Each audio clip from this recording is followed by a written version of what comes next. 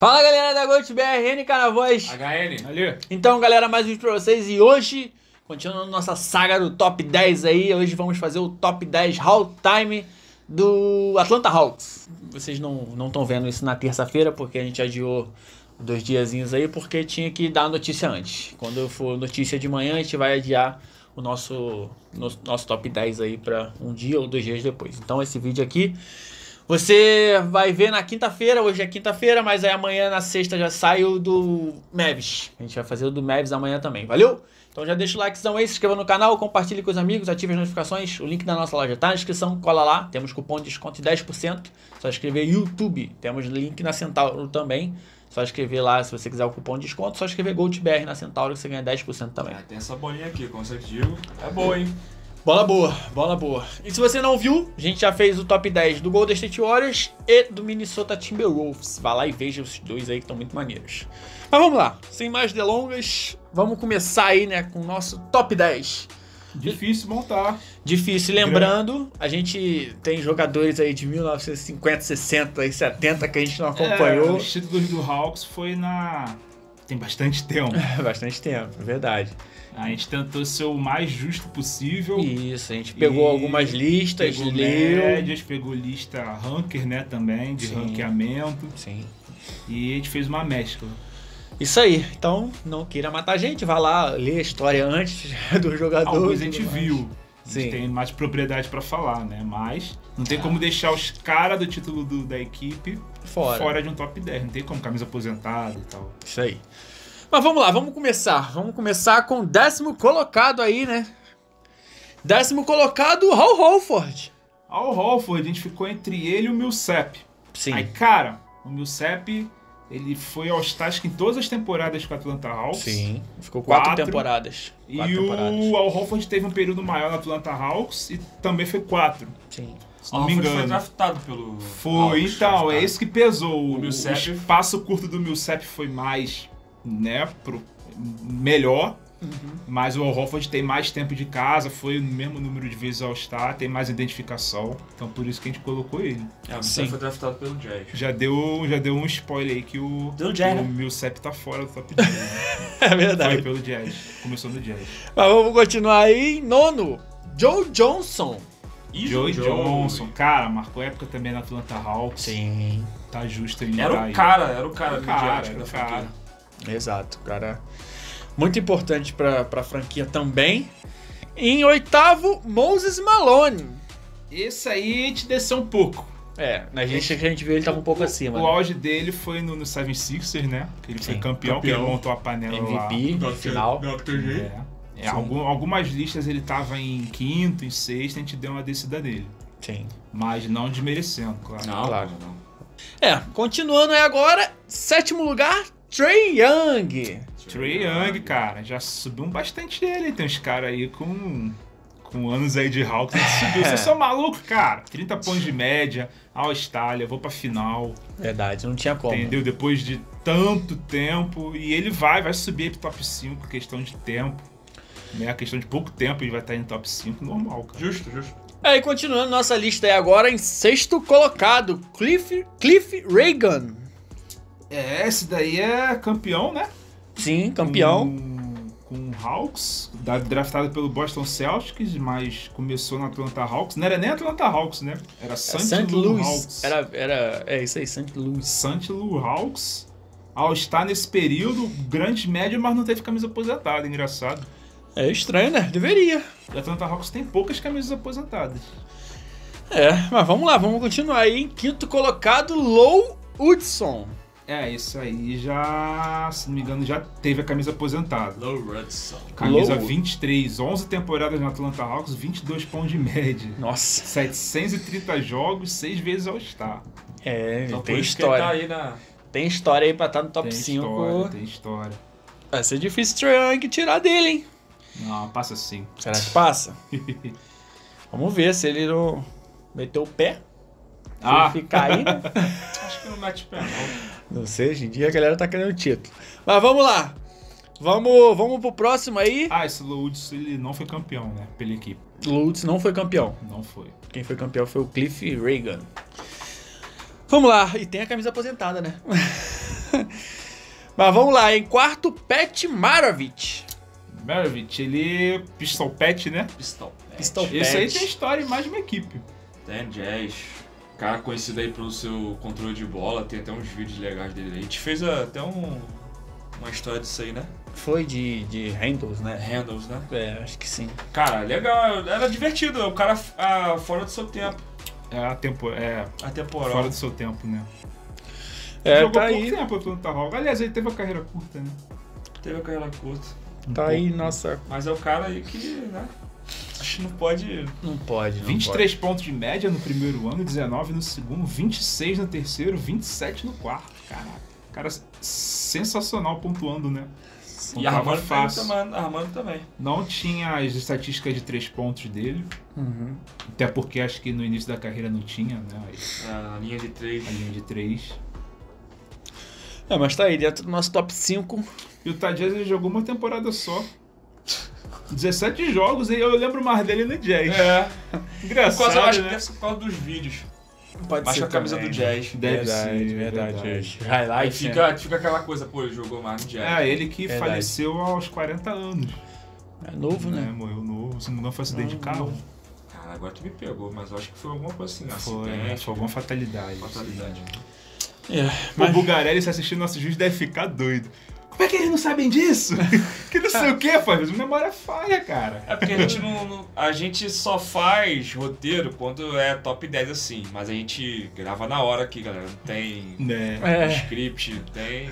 não tem. Mas tem uma Então, a- coisa e outra que a gente lembra. Então a memória A falha. gente tenta ser o mais justo possível na hora de montar. Isso. Sim. Né? Isso a gente olha bastante. Então, é a única, a coisa que a gente escreve, tu pode botar até o print aí ali, o, o NK, pra eles. É só o top 10 mesmo, não tem nada É. escrito se o cara é campeão, a gente vê na hora aqui. É, é verdade. Não tem nada. Além disso, não tem nada escrito não. essas franquias que foram campeões há muito tempo é mais difícil de montar. Sim. Mais difícil. Mais É, porque difícil. pega esses caras das Porque pega um período lá. todo de tempo, sendo Tem. que aqui eles foram campeões. E esse período todo aqui até hoje? Verdade. Tem, que- tem que respeitar. Entendeu? É complicado montar esse top 10. Por isso também que a gente botou um triângulo aí no meio, né? É. Porque, pô, já fez muita coisa e ainda pode fazer muito Ah, mas mais. tem gente Trae Young no lugar do Moses Malone. Calma, você deve estar pensando no Moses Malone do, do, Seven do Six. Seven Six, do, do, do É, Rockets. franquia. Exatamente. É. Exatamente. Como jogador, o Malone hoje é muito maior que o Trae Young. Então ele pode passar, mas hoje não é. Mas na franquia... Verdade. O Mose Malone foi até desenho já, filho. Mas vamos continuar agora com o nosso top 3 aí, né? Grandes homens aí, grandes homens. em terceiro, em terceiro lugar, Mutombo. Kembe Mutombo, esse aí Mutombo. pensa comentários, né? É, mano. Marcou época no, no, no Atlanta Hawks. Protetor de aro. Hall da Fama. Participou de um período na NBA que era muito difícil, Muito que é os anos difícil. 90 ali. Né? Lembro muito dele com. Ele. Inclusive o de Kembe André é por causa dele, sabia? É É mesmo? a homenagem do pai. Legal. Maneiro, maneiro. E ele é pivô? Pivô também. É, legal. Futuro aí do Brasil Seleção. E o de Kembe ele já tinha uma carreira bem legal no Denver Nuggets antes de ir pro Atlanta Hawks. Nuggets no 76ers também. Foi assim que foi depois. Jogou até no Knicks, cara.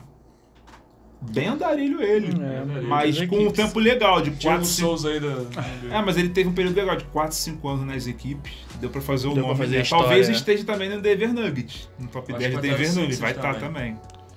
Do Sixers também, né? É, Embora ele tenha ficado pouco tempo aí. lá. O Sixers é mais difícil também de montar, hein? Eu acho que não, cara. Se bem que ele foi duas vezes ao estar no Sixers. É, rapaz, ele teve lá e chegou final. É, verdade. Verdade. Ele acho que ele era um dos poucos que prestava ali, né? Do time lá do Allen Iverson, né? É que tinha o Eric Snow. Mas ele já tava bem veterano lá. Tinha o, acho que o Chris Webber. Eu tenho que ver depois. Já, é, tá vendo? Memória. A gente tá puxando de memória aqui. Então é isso. Pra montar o maior do Seven Sixers vai ser uma Porra, merda, hein? Eu já sei que é. Vai voar. Eu É, vou discutir pá, aqui. Caraca. É, mas vamos lá, vamos continuar aí com o segundo colocado, Bob Pettit. Petit. É, o Bob cara muito Pettit. importante é, aí, esse né? cara aí tava presente aí no... Ele, ele só jogou no, no Hawks, né?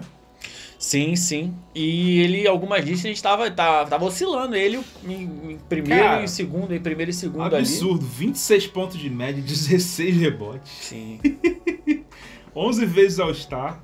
Ele foi All-Star em toda, toda a carreira, mano. Toda a carreira no. no- era. Era St. Louis Hawks. Uhum. St. Louis Hawks, mas era um outro nome também antes, né? Milwaukee. Milwaukee Hawks. Milwaukee. Cara, isso aí é anos 50.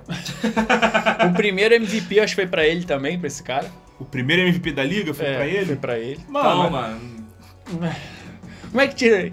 Por isso que ele tá é legal, vacilando. que mais um jogador que teve a temporada, a carreira toda mais de 20 pontos de média. Eu tava tentando achar essa informação. Tem o LeBron, tem o KD, tem o Jordan, Bob Petit. Aí. Era o Carmelo antes de sair do Knicks também tava, mas caiu, né? Aí, mais um jogador. Eu vou, eu vou anotar os nomes, eu acho legal. É porque legal. é difícil você já entrar na liga com 20 pontos de média Verdade. e manter durante a carreira. Pô, É, foda. né? Bastante coisa. Se bem que ele jogou 11 temporadas só, né? Jogou 10 temporadas. Mesmo assim. Mesmo assim, né? 10 temporadas é muita manter- coisa. É. Vai. Mas vamos lá, agora em primeiro lugar aí, Dominic Wilkins. Ah, esse cara aí, mano, esse cara aí não ganhou o título, né? Não. Mas ele, cara, o que tem de gente que Não, cara. se inspirava nele. Mexe enterradas, já jogou um jogo, acho que importante com tendão rompido. Não, ele era um monstro. Não. É um monstro, é um monstro. Tem a, a lendária Campeonato de Enterradas com o Jordan, né? Se eu não Verdade. me engano. Cara, 24.8 pontos de média na carreira. Camisa Isso aposentada jogando também. nos anos 80 e 90. Sim. É dominante. Dominante. Por isso que tá em primeiro aí, passou o Bob Pettit aí. Porque é um cara absurdo. Não, o físico dele, Ele- sensacional. Eu não sei se eu falei do, do Mutombo também. O Mutombo, o Pet e o Dominic Wilkes tem, os três aí tem camisa aposentada, né? É, a lista aqui de camisa aposentada da Atlanta Hawks. O 9 é o Bob Pettit. Acho que é assim que se, olhar, se É, pronuncia, é né? Bob Pettit. Dominic Pettit. Wilkins, Low Hudson e o Pat Pat, Pistol Pat e o Mutombo. É, e tem também o Kazim Reed. Eu não sei se isso aqui é treinador. Nosso top 5 então tem camisa aposentada, né? Agora eu fiquei curioso pra ver quem é esse Kazim Reed. Será que é algum jogador daquela época? É, pelo que eu vi aqui, era um gestor, trabalhava no, nos bastidores, né? Uhum. Da equipe deve ser alguém muito importante pra ter o número aposentado. E talvez o número 59 seja a idade que ele faleceu, não sei. É, Mas interessante. maneiro, maneiro. Tem equipes que, por exemplo, nos- acho que é o Lakers, né? Tem do, do narrador da equipe, né? Não tem? Aposentado. Acho que o número da camisa seria o número de partidas que ele. Acho que é isso. Acho que agora a gente vai trazer mais pra frente. Essas microfonezinho assim, O né? microfone, é. É interessante. É maneiro, maneiro. Então esse aí foi o nosso top 10 do Atlanta Hawks, galera. O que, que Tem vocês as menções acharam? honrosas ainda. Verdade, menções honrosas, até esqueci. É, Paul Millsap, O Millsap, que a gente né? falou, quase né? entrou. O Kyle Cover, Kyle Cover. Josh Smith, Josh Smith era um monstro, hein? PFzão, brabo. sim, sim. Lenny Wilkins, Esse aí, se não me engano, é lá da época do. é, do dos antigos lá, né? Doc Rivers Doc Rivers. Lá na época dos Eternos. e Jeff Teague. Jeff Teague, teu menino aí. Jeff Teague, eu sou fã. É, o auge dele realmente foi no, foi no Atlanta Hawks. É, verdade. botaram quantos jogadores naquela vez? Foram Demar Carroll, foi Kyle Cover, Al Hofford e Millsap, né, pro All-Star. E teve Jeff Teague também, foi? Foi esses cinco? Cara, um time quase todo de All-Star. Pelo menos aquele período Spurs, ali. Spurs do Leste. É, era um time muito embaçado. É igual o Memphis Grizzlies também. Era um time chato de vencer. Vê aí se eu tiver enganado, acho que se foram quatro, foram cinco. Acho que o Jeff também É, tava. não sei se era o Josh Smith. Foi só um período. Não, o Josh Smith não. Não, né? Só esse período aí, acho que foi 2013, 14. Uhum. 14, 15, eu acho que é isso aí. Uhum. Que aí teve o Al Hofford foi All-Star, o DeMar Carroll foi All-Star. E O Halford. o DeMar Carroll, o Tig, né? Kyle Cover e o Millsap. Aí não sei se foi o Tig também, porque os- era, era do mesmo time. Mas eram quatro, se não me engano. Eu acho que eram quatro. É, se tiver errado, comenta aí. É, comenta aí embaixo, galera. Comenta também quem vocês subiriam, quem vocês desceriam. Se a gente esqueceu alguém, se vocês colocariam alguém, se vocês tirarem alguém. Comenta aí embaixo, É, façam a lista de vocês Devem também. descer esse pessoal das antigas aí, mas se tu pegar a média, o tempo de, de franquia, né? Sim, sim, sim. É É, uma coisa absurda. não tem como. Não tem como não botar esses caras. Então, Mas é isso, se você é fã assíduo aí do Atlanta Hawks, comenta aí você que tem mais prioridade pra falar. É, pode corrigir algum erro. Exatamente. A lista eu acho que tá ok. É, Mas alguma acho. informação errada pode comentar. Comenta aí, valeu? Então é isso, galera. Tamo juntão. Deixa o likezão aí, se inscreva no canal, compartilhe com os amigos. Se vocês não viram os outros, os outros times que a gente já fez, foi do Minnesota e do Warriors. Vai lá e veja, que tá muito maneiro. E o próximo é do Dallas Mavericks. Valeu? Valeu. É nóis, rapaziada. Tamo junto. É nóis. Junto.